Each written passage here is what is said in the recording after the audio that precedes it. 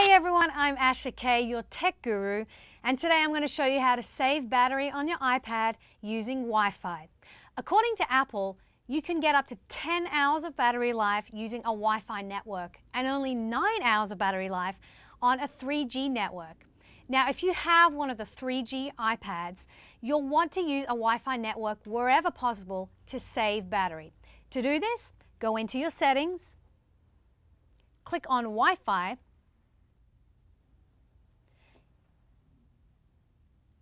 Then enable Wi-Fi and sign in to the nearest Wi-Fi network. I'm Asha Kane, and I'll see you next time.